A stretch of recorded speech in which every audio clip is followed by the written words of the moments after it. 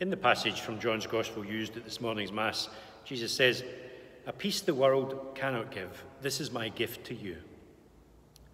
In his message for the World Day of Peace, the 1st of January, Pope Francis wrote, The peace process thus requires enduring commitment.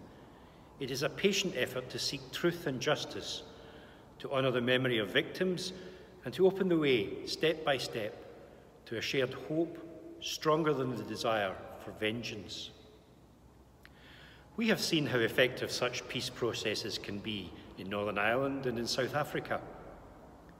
We are learning how important it is for survivors of abuse in any of its forms to be heard and believed, to find justice as a way of coming to peace within themselves.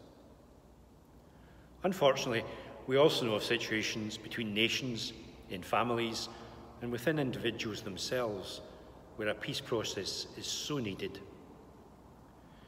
During the First World War, Pope Benedict XV introduced the title Our Lady Queen of Peace into the Litany of Loreto. In this month of May, let our prayer be before these situations most requiring peace.